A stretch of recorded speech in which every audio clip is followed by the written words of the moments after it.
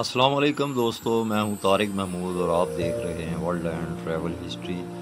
दोस्तों, आज हम आपको बड़ी अहम मालूम के साथ साथ सैर करवाने वाले हैं। दुनिया में मौजूद एक ऐसे मुल्क की जिसके बारे में कहा जाता है कि ये दुनिया की हुकूमतों को कंट्रोल करता है। जो है तो छोटा सा, लेकिन इसने तमाम मसीहों से लेकर तमाम अरबों तक और तमाम हिंदुओं से लेकर तमाम दहरियों तक सबको अपने पल्लू के साथ बाँध रखा है।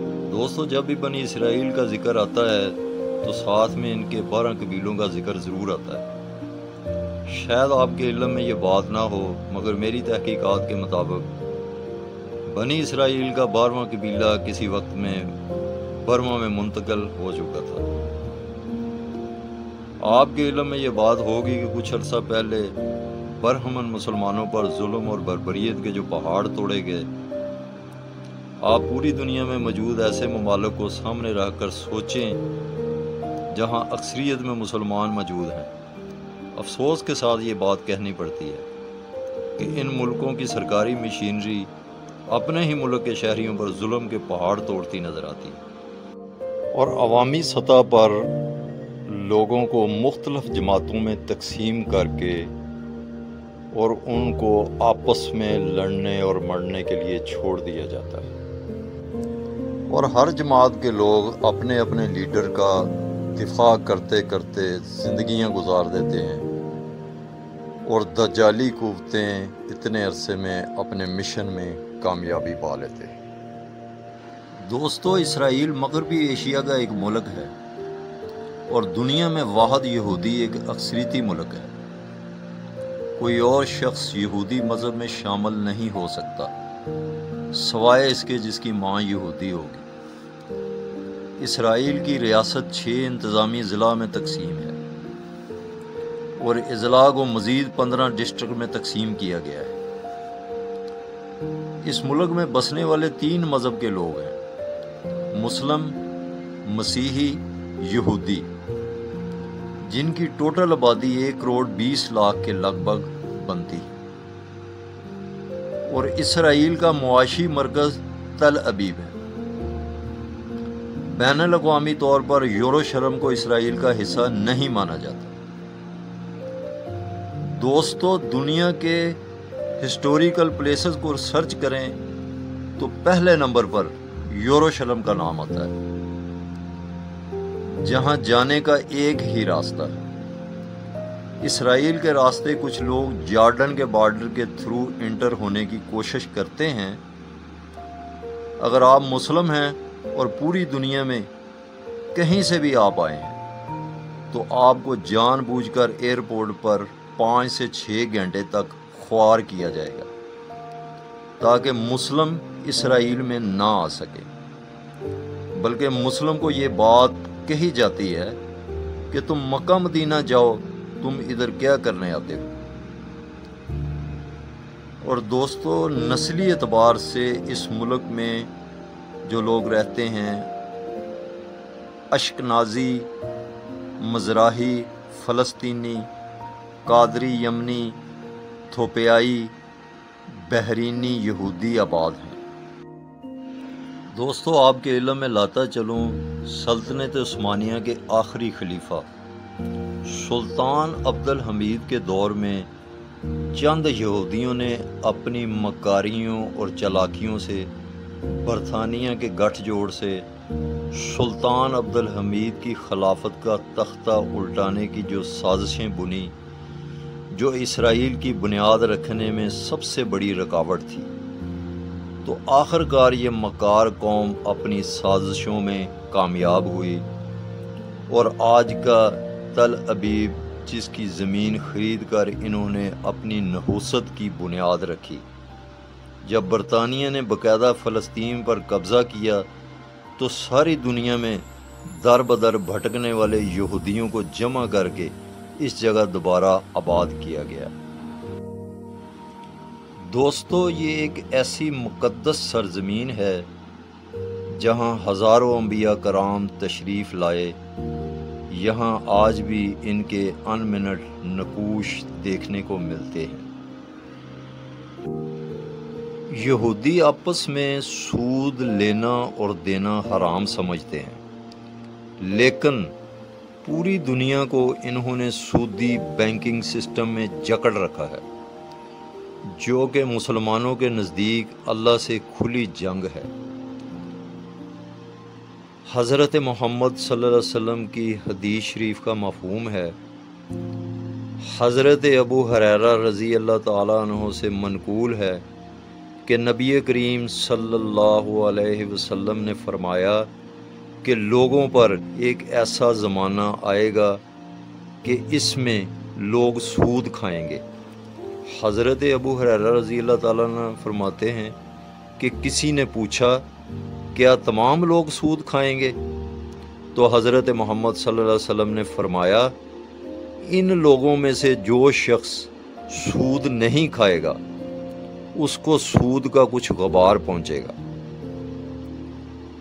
तो इस हदीस के फ़ायदा में शेखल हदीस लिखते हैं, इस दौर पर कितनी सादक आती है ये हदीस।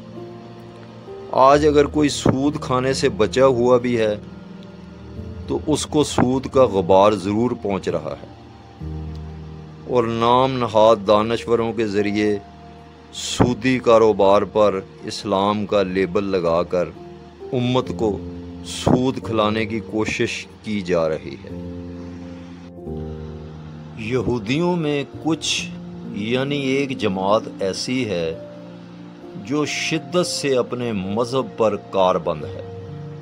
इनके नज़दीक तेरह के हिंसे की जो अहमियत है, इनके यहाँ लड़की या लड़का जब तेरह साल की उम्र को पहुँचते हैं तो उनको बाकायदा ये अपने किसी दीनी अदारे या मदारस के नज़दीक इनको अपने मज़हब में पाबंद किया जाता है और इन पर सारे अहकाम को फ़र्ज़ करार दिया जाता है और लड़कियों को साथ खानादारी सिखाई जाती है और लड़कों को ये बात रटाई जाती है कि तुमने दुनिया पर हुकूमत करनी है और तालीम में इनको ज़्यादा ज़ोर मैथ और जगराफिया पर दिया जाता है। दोस्तों, आज अगर पूरी दुनिया के मुसलमान अपनी 24 घंटे की ज़िंदगी के ऊपर गौर फ़िक्र करें तो आपको यहूदियों की चालाकियाँ और मकारियाँ हर जगह मिलेंगी। जनवरी, फरवरी, मार्च, अप्रैल, मई, जून, जुलाई किन किन देवियों के नामों पर रखे गए Valentine Day, Christmas Day, Good Friday, Black Friday के बारे में दोस्तों ऐसा ऐसा मंजन मार्केट में बेचा जा रहा है कि अल्लाह की पनाह। इसमें हकीकत और मबालगा राई कितनी है? बहरहाल दोस्तों, मुख्तसर बात यह है कि ये सौ साल यहूदियों का तैयार किया हुआ मंजन आज पूरी दुनिया में अपनी जड़ें मज़बूत कर चुका है। जिसको खाए और पिए बगैर आज कोई भी सुकून की नींद नहीं सोता। दुनिया में कोई ऐसी बीमारी नहीं है कि जिसका इलाज नहीं है। तहरीक फ़लस्तीन ने अपनी तारीख में बहुत से उतार चढ़ाव देखे हैं। मुख्तलफ नारों और मुख्तलफ नज़रियात की छाप इस पर पड़ती रही।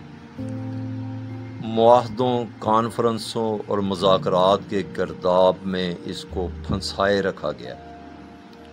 इस तहरीक में दुनिया ने तमाम तजर्बात किए, लेकिन मज़लूम मज़लूम तर होते गए और गासब बदतरीन गासब बनते चले गए।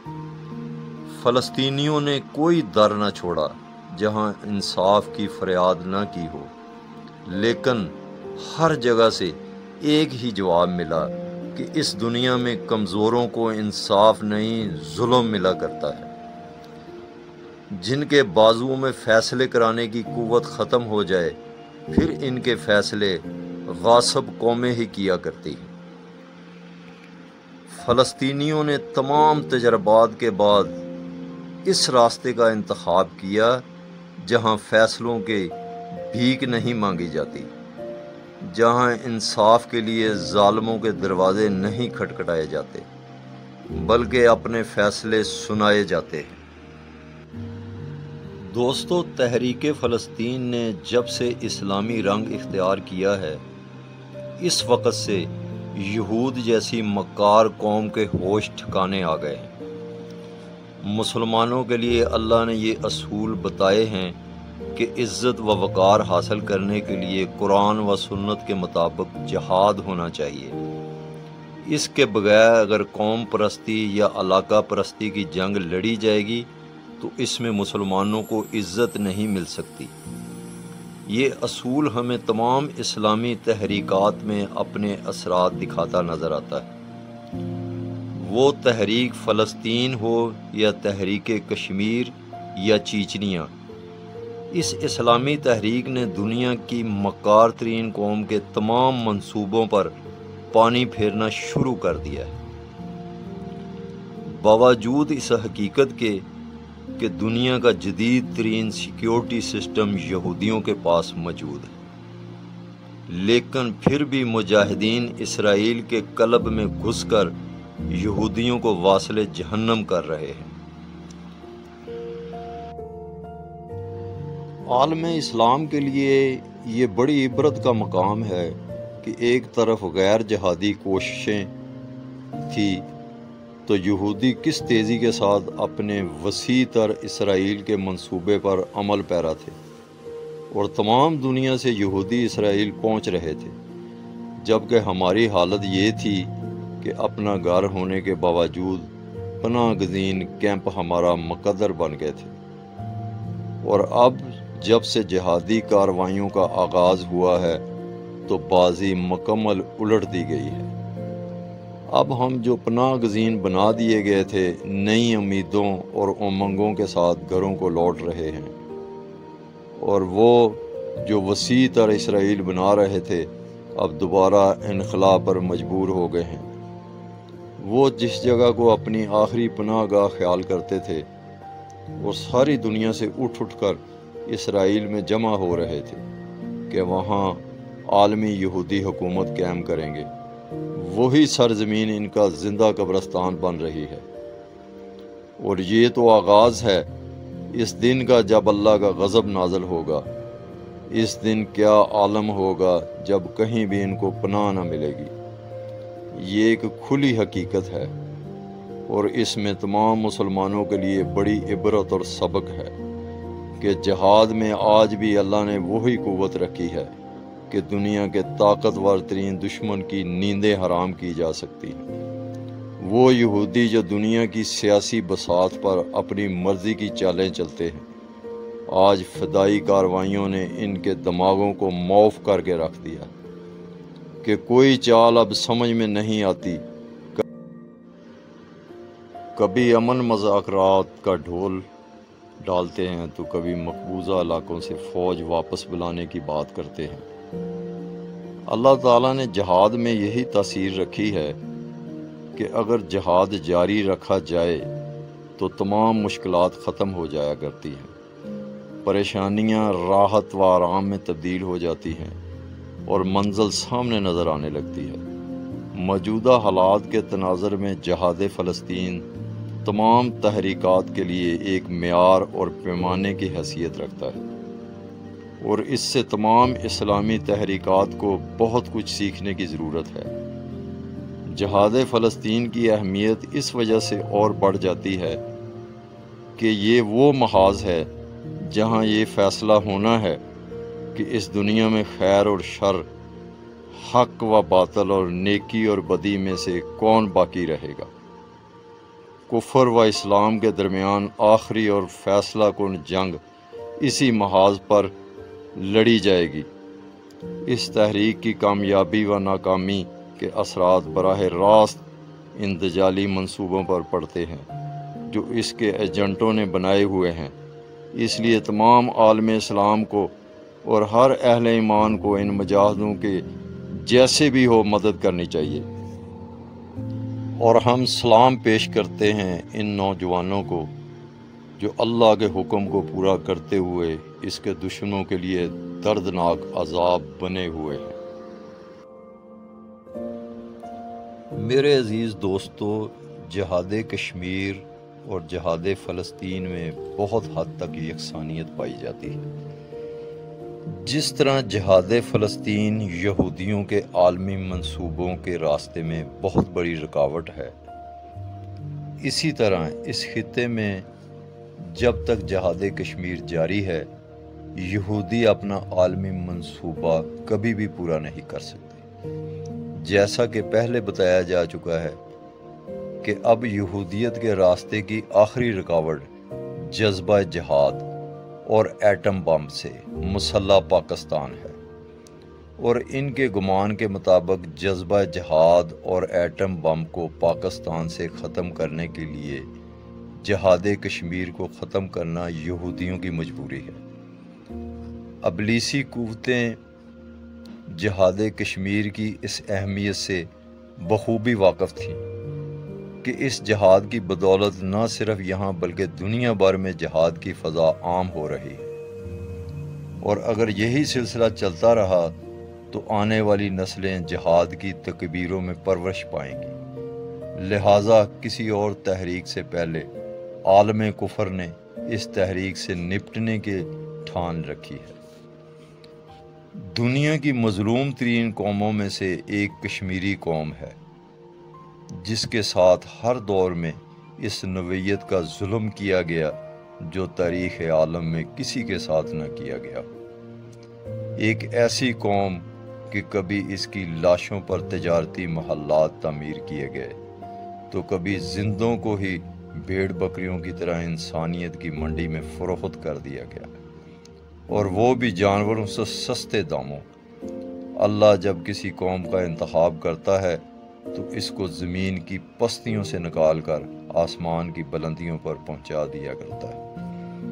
इस कौम को भी अल्लाह ने जहाद के लिए मंतखब फरमाया और तबसरा नगारों ने तबसरे इंसानी नफ्सियात के माहरीन की तहकीकात, दानश्वरों और फ़लसफियों के फ़लसफ़े इस कौम के बारे में इस वक्त गलत साबित हो गए, जब इस कौम ने जहाद के पर्चों को बुलंद किया इंसानी नफ्सियात के माहर ये देखकर हैरान व परेशान थे कि क्या ये वही कश्मीरी कौम है जिसको एक सिपाही एक डंडे के साथ बकरियों के रेवड़ की तरह अकेला हाँक कर ले जाया करता था, जिसके ज़िंदा अफराद को जानवरों की तरह नीलाम कर दिया गया था।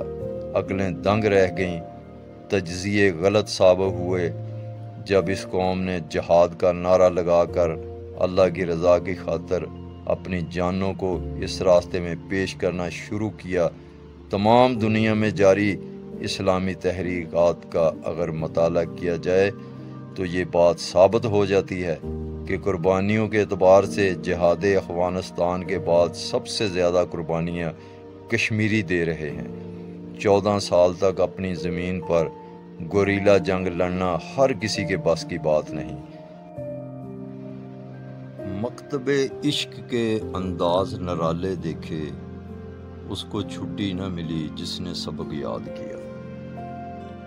पाकिस्तान के यूवर मुजाहिदीन ने अपने कश्मीरी मुजाहिदीन से कुछ अहदो पेमा किए थे कि खून के आखिरी कतरे तक जहाद को जारी रखा जाएगा। आखिरी सांस तक मैदान को गर्म रखा जाएगा। हाथ छल हो जाएँ, पाँव में छाले पड़ जाएँ, लेकिन मंजिल की जानब सफ़र जारी रखा जाएगा। जिन चिरागों को सुर्ख लहू से रोशन किया गया है, इनकी लो को कभी मद्दम नहीं होने दिया जाएगा। कश्मीरी अभी भी अपने अहद पर कायम हैं। कश्मीरी मुजाहिदीन भी आखिरी सांस तक इस अहद को नभाते रहेंगे। क्योंकि वो जानते हैं कि जहाद में कामयाबी सिर्फ़ इलाका फतह करने का नाम नहीं, बल्कि ये तो अकीदे की जंग है। जो अपने अकीदे पर आखिर तक डटा रहा, वही कामयाब और फातह कहलाता है। इनके सामने इस्लाम की तारीख है, जिसमें इन्होंने पढ़ा है कि दुनिया का घटिया से घटिया मौरख भी मीर जाफ़र और मीर सादक को कामयाब नहीं कहता, बल्कि दुनिया इन्हीं को कामयाब कहती है, जो अपने जिस्मों को तो मटा गए, लेकिन अपने नज़रिए और अकीदे को बचा गए।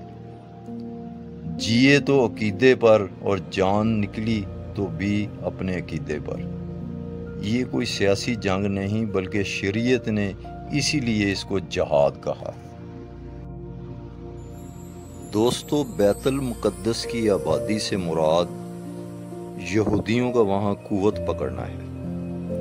बैतुल मुक़द्दस पर इसराइली कब्ज़ा के बाद यहूदियों की नापाक नज़रें मदीना मनवरा पर लगी हुई। जंग खलीज के वक्त अमरीकी फ़ौजों का जजीरतुल अरब में आना दर हकीकत वो इसी मनसूबा का हिस्सा है, जिसकी निशानदही आप वसल्लम ने फरमाई है।